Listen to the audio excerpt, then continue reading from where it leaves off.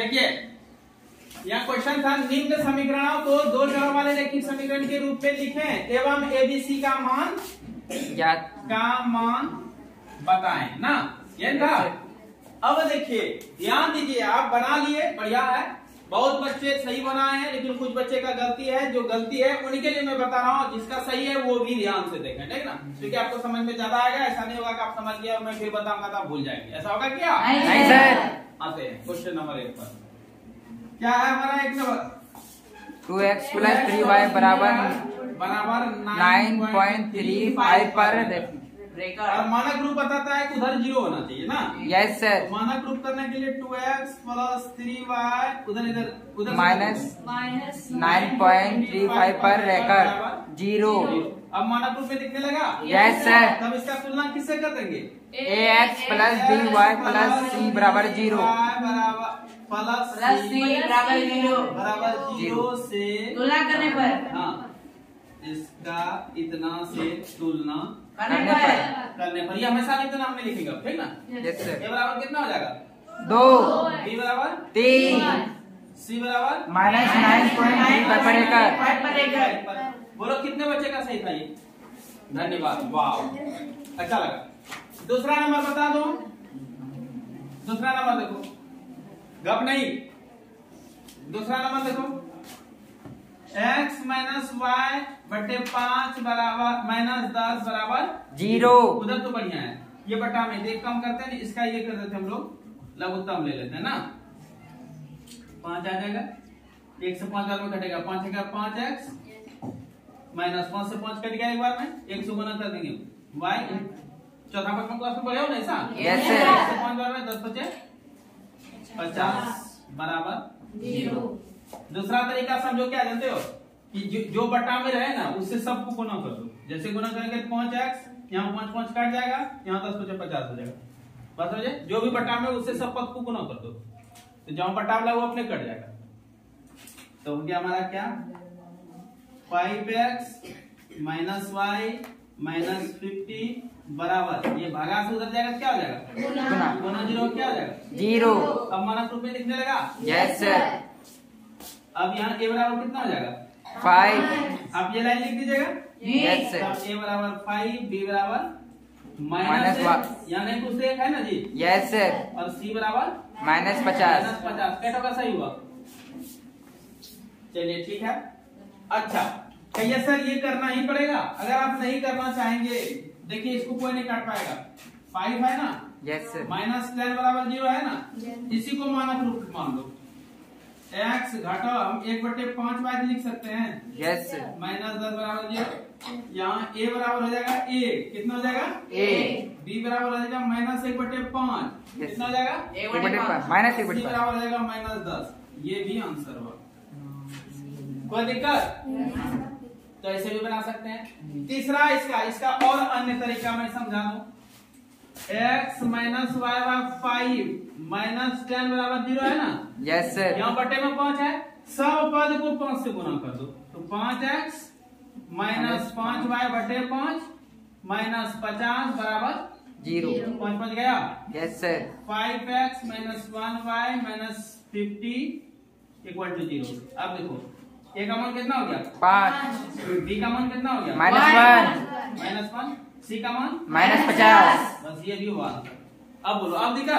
नहीं सर ठीक है ये टू तो बन गया होगा आराम से। यस सर आगे थोड़ा झंझट आपको यहाँ मिल सकता है कुछ बच्चे को। कमज़ोर वर्ग के जो बच्चे हैं मेरे जैसा मोटा मसावला उसका उसको थोड़ा सा दिक्कत हुआ होगा। एक्स बराबर थ्री वाई है? सर अब इसको हम क्या करेंगे? एक्स उधर से इधर लेते हो। Minus minus three Y. उधर क्या बचा? ज़ीरो कंडीशन का मानक रूप का यहाँ ध्यान दो। ए एक्स प्लस जो गप करते मन करता है उसको ठाक पटक दे। नहीं समझती है? X plus plus B Y plus plus C बराबर ज़ीरो इसको तुलना किससे कर रहे थे? इससे तुलना करते थे? यहाँ कंडीशन था कि ए बराबर नॉट ज़ीरो होना चाहिए और Yes. बी बराबर नॉट ज़ीरो लेकिन सी का कंडीशन कुछ नहीं करा। सी ज़ीरो भी हो जाए तो जी। यस इसमें कुछ दिख रहा है? हाँ। क्या? सी ज़ीरो ज़ीरो ज़ीरो हो गया और कुछ नहीं हुआ सी क्या हुआ है? ज़ीरो। लिखेंगे। इसका तुलना किससे करेंगे? X plus B Y plus C बराबर ज़ीरो ज़ीरो से करने पर करने पर अगर तुलना करते हैं एक का मान कितना दिखेगा? वन। हाँ एक्स के आगे एक छुपा हुआ है? यस सर बी का मान? माइनस थ्री सी का मान? ज़ीरो। क्या कोई आपत्ति नहीं सर आगे देखते हैं क्वेश्चन नंबर पाँच। पाँच बन जाएगा वही सब है वो। यस सर ज़ीरो हो जाएगा ना? यस सर छह भी यहाँ बराबर ज़ीरो छूट गया। छह भी बन जाएगा आप लोग हाँ, sir. यहाँ क्या ज़ीरो आया बताइए तो? C B zero. नहीं नहीं बी ज़ीरो है राइट बी ज़ीरो है। क्या है? B zero. Three X plus two equal to zero है इसको हम लिख सकते हैं three X plus zero Y ना? Yes, sir. Plus two equal to zero इसमें sir. वाला नहीं है प्लस ज़ीरो वाई कर दें यस सर अब इसका X plus B Y plus C बराबर ज़ीरो से तुलना करेंगे तो ए का मान कितना होगा? तीन। बी का मान ज़ीरो सी का मान दो। समझ में आया? यस सर आगे देखो ये क्वेश्चन आठ number five equal to two X है। यस सर अब देखो यहाँ क्या करेंगे? उसको इधर लेते हो।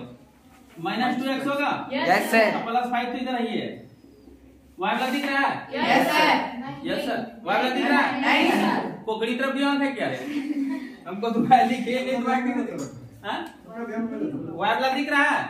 यस सर कहाँ है वाई नहीं है सर ज़ीरो में है हाँ? वाई नहीं है। नहीं होने का मतलब है उसका गुणांक क्या हो गया होगा? ज़ीरो। हो गया एकदम ज़ीरो प्रकट कर देंगे minus two X plus zero Y plus five five. बराबर ज़ीरो।